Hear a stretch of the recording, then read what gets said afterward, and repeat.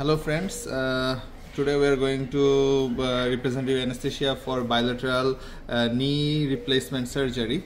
And we are seeing that there is very much low joint space, uh, very much low joint space here. There is actually um, higher uh, joint space narrowing. Uh, that's why it is a osteoarthritis, in this case is osteoarthritis. And we are going to replace the knee or replace the knee and we are seeing another some another uh, x-ray for chest x-ray which is normal. And the, the, patient has already undergone bilateral hip surgery and uh, also, it is also the cause of osteoarthritis. Uh, yes um,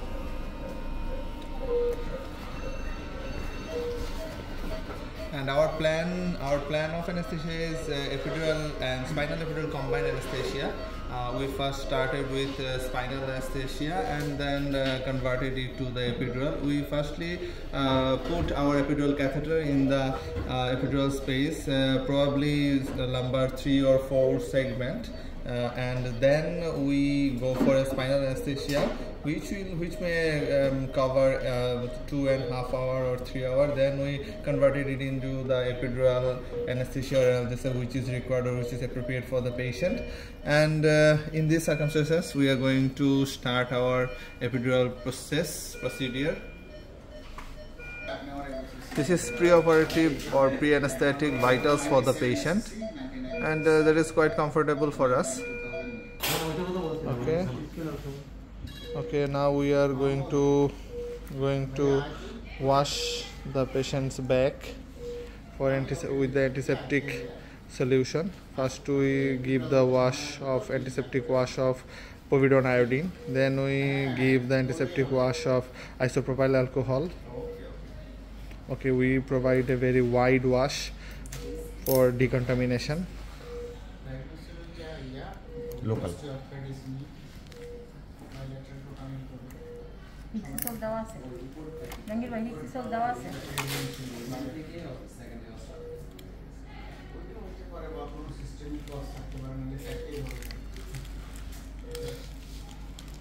Okay, this is a wash of isopropyl alcohol.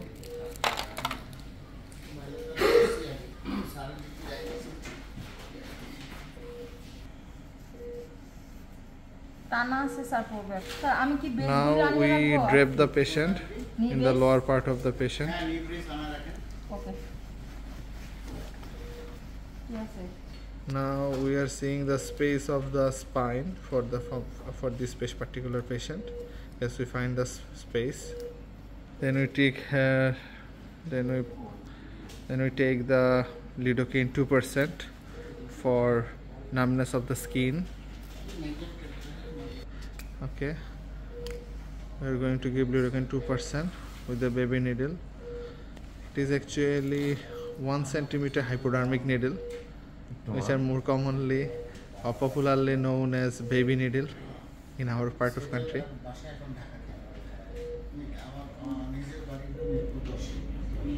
Yeah. We give the local anesthetic for the numbness of the patient okay this is uh, this is Tuohy needle. This is Tuohy it is uh, 18g Tuohy needle uh, which tip is blunt actually. We are seeing the tip here. Yes this is the blunt tip.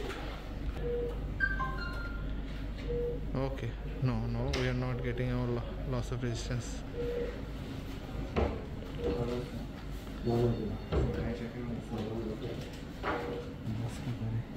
okay we find out our loss of resistance in this space.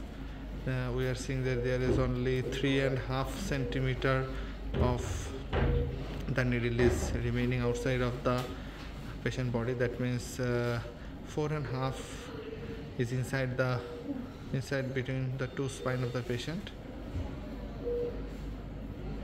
And we are pushing our catheter into the epidural space and it is entering into it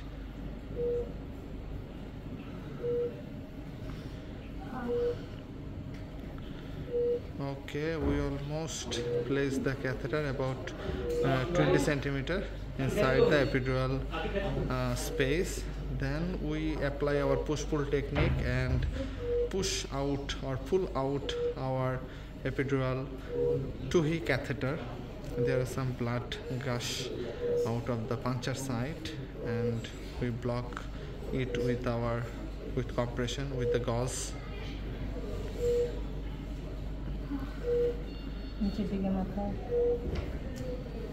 Putting some pressure at the side of puncture.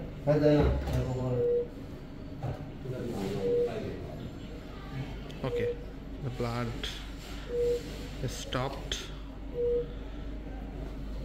no there is also some dripping out of the blood from the puncture site we should have to compress it for some longer duration okay বাচ্চা তো এখন আমাদের হয় নাই হবে জামাইটা ভালো আছে একটা ফ্যানটা নিয়ে আসো okay we are putting our hub at the back of the catheter. Okay hub is placed. And then we push a test dose of adrenaline. Local anesthetic.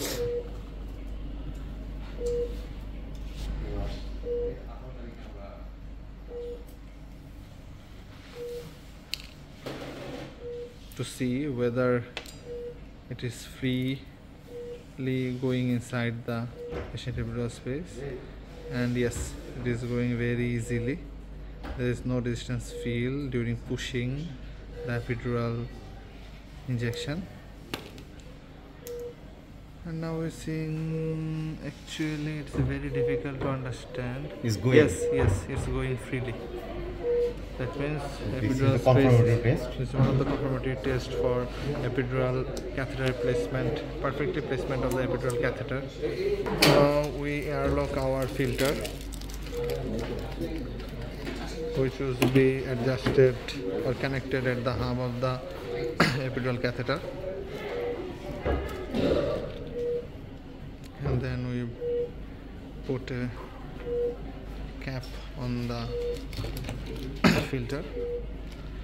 And after performing the epidural catheter we will place 25g spinal needle for giving a spinal.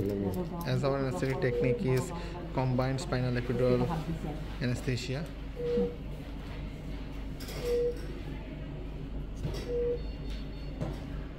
Now we fix the catheter at the back of the patient with a tab pad which is available with the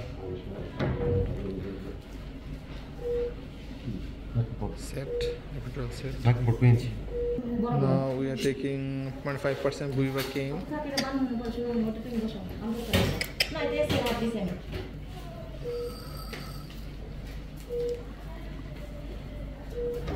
And then Fanta half ml.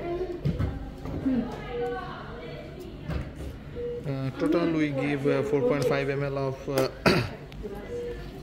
uh, uh, subarachnoid space injection.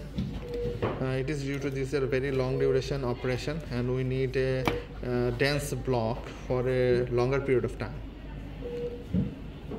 And uh, again we see the space for the subarachnoid injection and this is our Spinocan needle. Our consultant is uh, putting it in the space in between the two spine. Maybe it is L4 and L5 yes so we are seeing the gush of CSF coming outside of the hub and we place our uh, injection at the hub of the spinal needle, Spinocan needle, and we are slowly injecting it inside the subarachnoid space.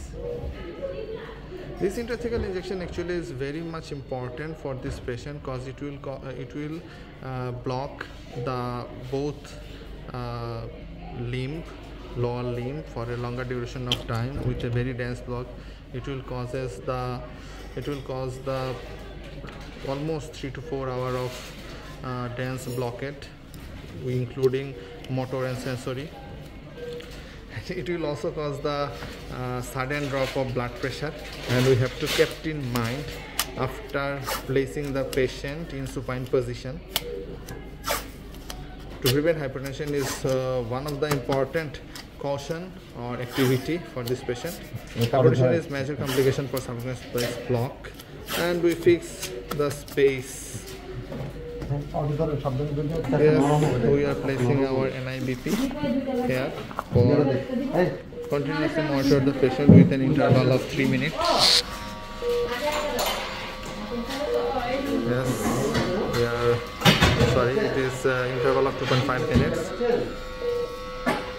Okay now we are seeing the patient is increases uh, up to 144 the monitor has assigned the alarm of tachycardia and uh, we are seeing what will be the blood pressure. No we are not getting the blood pressure right now. We are pressing the button again for getting the blood pressure okay we found out our uh, blood pressure is 119 by 16 with the mean pressure of 75 millimeter of mercury but pulse rate rises to 150 so the heart is trying to balance the cardiac output and pressure uh, with increasing the heart rate but we cannot uh, allow this heart rate for a longer period of time so we are going to uh, push vasopressor within few seconds. We are going to give vasopressor ephedrine which also a uh, chronotropic drug. We are giving it uh, 2 ml which is 10 milligram.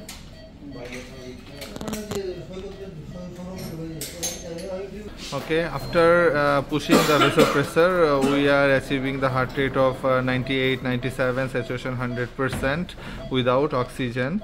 And uh, uh, we had the blood pressure of 108 by 90 with a mean pressure of 95 and this is quite acceptable for us and maybe it may be uh, the blood pressure may be uh, drip down to if there is uh, bleeding at the operation site uh, then we need to uh, then we need to go for rapid volume resuscitation or may we maybe use some vasopressor if needed. But actually when there is a uh, blood pressure reduction or hypertension intraoperatively uh, due to bleeding we actually causes the replacement of the fluid and uh, this is the technique we are using uh, for the anesthesia of the knee joint the combined spinal and epidural anesthesia. And you have already understand what we're doing in the in our ot and uh, that's all my friends. Thank you. Thank you everyone